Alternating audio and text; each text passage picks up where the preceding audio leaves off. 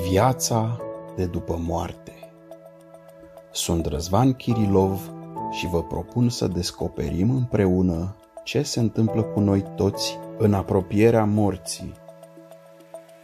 Moartea este încetarea irreversibilă a tuturor funcțiilor biologice care susțin un organism.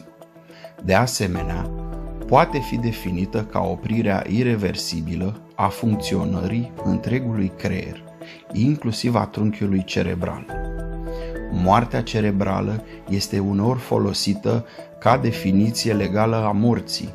Rămășițele unui organism încep în mod normal să se descompună la scurt timp după moarte. Moartea este un proces inevitabil care are loc în cele din urmă în aproape toate organismele vii. Moartea se aplică în general organismelor complexe, Procesul similar observat în componentele individuale ale unui organism, cum ar fi celulele sau țesuturile, este necroza.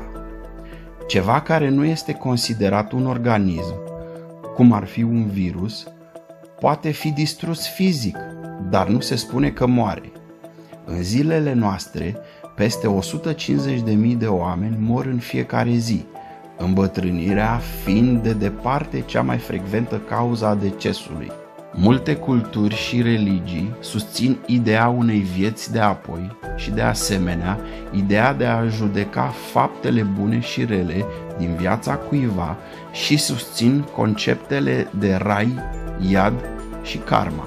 Imaginează-ți un vis în care simți un sentiment intens de prezență, cea mai adevărată, cea mai reală experiență din viața ta, în timp ce plutești departe de corpul tău și te uiți la propria ta față. Ai un strop de frică pe măsură ce amintirile vieții tale îți trec rapid prin fața ochilor. Deși contemplarea morții provoacă teamă pentru mulți oameni, aceste trăsături pozitive sunt raportate în unele dintre experiențele aproape de moarte suferite de cei care au ajuns în pragul morții și apoi și-au revenit. Relatările despre experiențe aproape de moarte sunt remarcabil de consistente ca și conținut. Acestea includ amintiri intense și vii care implică senzații corporale care dau o impresie puternică de a fi reale, mai reale chiar decât amintirile despre evenimente adevărate. Conținutul acestor experiențe include amintiri trecând toate prin fața ochilor și, de asemenea, senzația de părăsire a corpului, deseori văzându-ți propria față și propriul corp călătorind cu fericire printr-un tunel către o lumină și simțindu-te una cu Universul.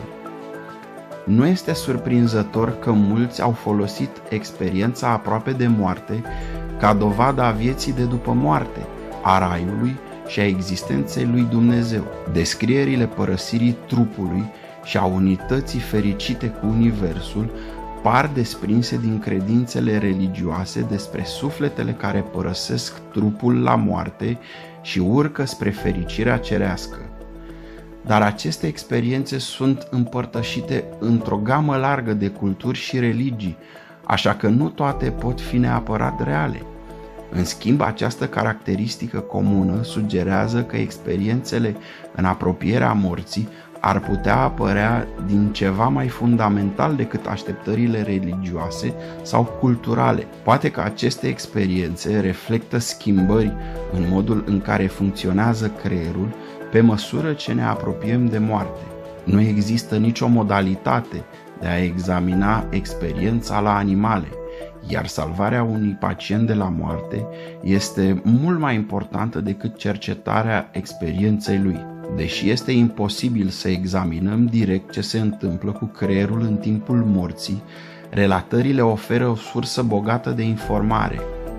Într-un nou studiu fascinant, au fost comparate relatările mai multor indivizi. Ceea ce este remarcabil este cât de similare au fost, chiar și atunci când se comparau relatări petrecute în ani diferiți. Acest nou studiu a comparat relatările a 625 de persoane care au raportat o experiență în apropierea morții. Amintirile celor care au suferit o astfel de experiență au fost comparate și din punct de vedere lingvistic. Poveștile lor au fost împărțite în cuvinte individuale și cuvinte cheie, iar cuvintele au fost sortate în funcție de sensul și numărul lor. În acest fel, cercetătorii au putut compara de câte ori au fost folosite cuvinte cu același sens în fiecare poveste. Cuvântul cel mai puternic reprezentat în descrierile comparate a fost realitate, subliniind sentimentul de prezență care însoțește o experiență în apropierea morții. În fruntea listei de cuvinte comune s-au numărat cele legate de percepție, văz, culoare, voce, viziune sau de corp, față, braț, picior, cele de emoție, cum ar fi frica, și cele de transcendență, univers, înțelegere, conștiință. Acest studiu ajută la descrierea manifestărilor psihologice ale morții. Aceste cunoștințe pot contribui în cele din urmă la atenuarea fricii față de această tranziție inevitabilă. De asemenea, s-au efectuat studii similare la care au participat oameni care au relatat faptul că au putut comunica cu cei morți. Aceste studii sunt similare cu cel comparativ și este remarcabil cât de similare au fost rezultatele.